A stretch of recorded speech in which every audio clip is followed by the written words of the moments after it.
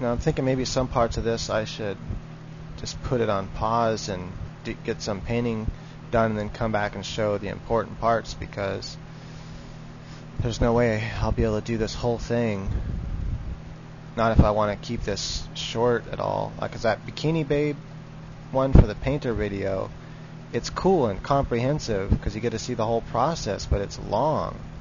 And this is already 70 minutes long, and I just don't know how many people really want to, you know, watch that long of a video just to learn how to paint with Photoshop. And it can't be terribly exciting.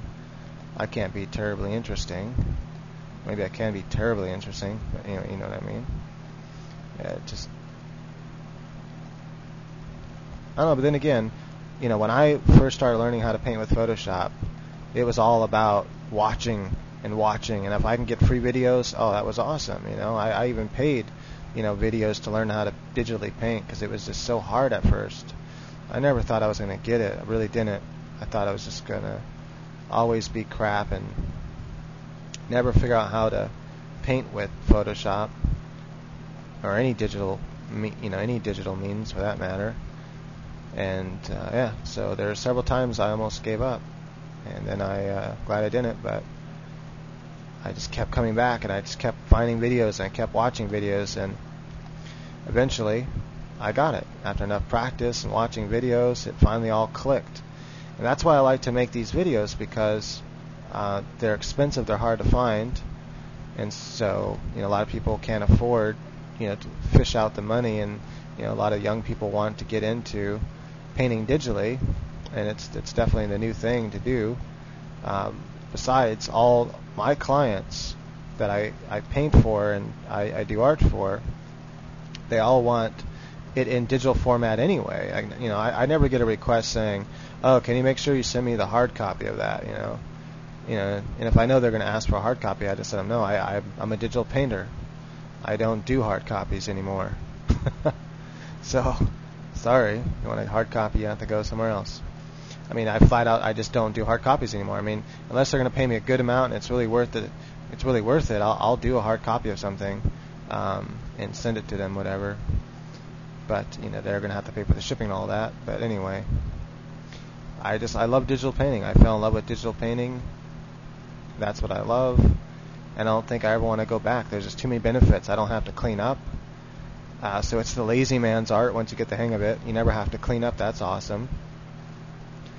I hated cleaning up, especially paints. The worst thing about painting is that uh, you know regular paints, traditional paints, is you have to clean up all your brushes, and you know maybe I'm just lazy, but I, I don't I don't like using you know because I like oil paints, and I don't like cleaning my brushes with turpentine just to get the stupid oils out. Even if you have you know water-based oils, I don't like the smell. It stinks. You have to paint outside. There's just so many downfalls to it that I'd rather not do it. So painting digitally gets rid of those problems. You don't have you, you, you change brushes on the fly. You don't have to clean nothing. It's just awesome. And when you start making money at it, people want digital files anyway. So who cares how you did it? They just want the end results. Some some clients actually think I scan my painting. They think I actually painted with brushes and then scanned my work. And uh, I'm like, no, yeah, it was all done digitally. I'm like, wow, you did that digitally? It looks like a regular painting. Yeah. And uh, you, you know, they could print it out on canvas and it would look like a painting when you go for that particular look. So as you see, I'm just like bouncing around. And maybe I should like describe what I'm doing. You can kind of see what I'm doing. I'm just you know changing my brushes from the sharp brush that I can get thinner lines and thicker lines, you know, smaller lines and thicker lines, depending on how hard I push on my tablet.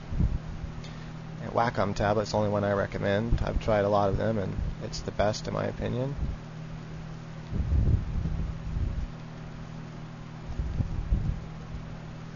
I'm add some really dark lines into her cape here, and I'm only I'm only stroking on the up path. Um, I, I don't I don't hardly ever scribble back and forth. That technique, scribbling back and forth, doesn't work for really hardly anything at all. Uh, you can try to use it, but it, it just doesn't work for much of anything. Doesn't have much usefulness. So I do the uh, you know stroke in one direction. I mean, I look like I'm going back and forth. I'm pulling it down, but I'm not touching the you know I'm not touching the canvas, and I'm only touching it when I go up. And that's how you get nice clean strokes. Now I'm only touching it pulling down. And I'm going to kind of take that kind of yellow color. Now I'm kind of wanting this uh, this particular version. I never like doing the same thing twice, so you know I, I've already painted this before, so now I'm doing different colors, different version all together, get a different feel to it.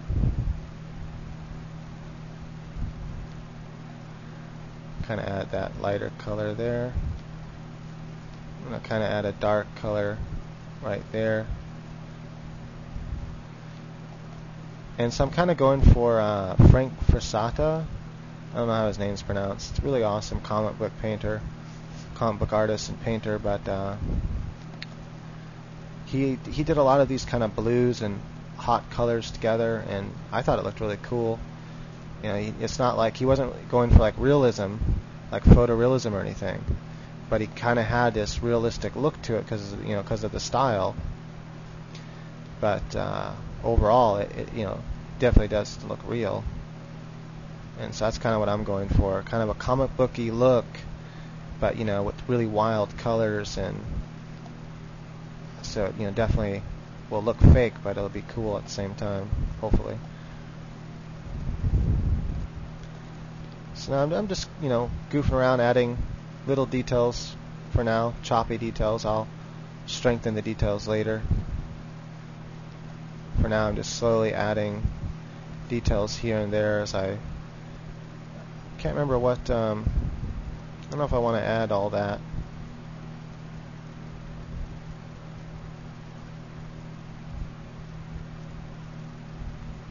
Eh, maybe. And notice I'm trying not to go too dark with my colors on purpose and the reason why is because when I do the overlay you know, it's going to darken a lot of the colors for me, a lot of the darks. And so I'm trying to purposely keep the darks kind of not too dark. And you'll see what I mean once we, once I, well, once I go in and change that. Uh, kind of need a dark color for there though. That line is going to be the darkest line of all. This line will be the lightest line right next to it. That's how metal works you have the dark and light line right next to each other. That's how you get metal. It's like always how metal is. And uh, if, you, if you remember that, you can always get a metal look out of something.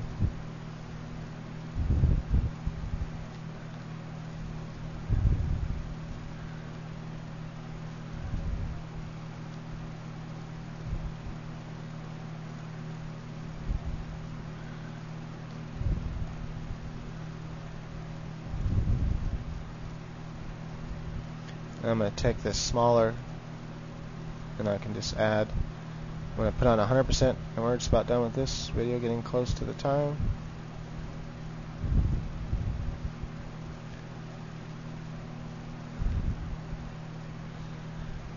Let's see I'm going to add this.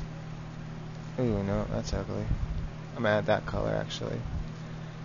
And let's say I get smaller I'm going to pick that color up and kind of blend it. Blend this. A little bit, oops, no, actually, a little bit of this purple color in there. There we go, because metal kind of reflects all the colors around it. So there we go, metal, voila. As you can see, she's slowly coming along as we go around adding details. And from this part on, you're not really going to learn much. Um, except I guess we're finalizing. So what I'll do is I'll spend the next because I kind of was finalizing this. I'll finalize this in the arm and do the do the details and stuff just where you can see, you know, the finer details and how to do that.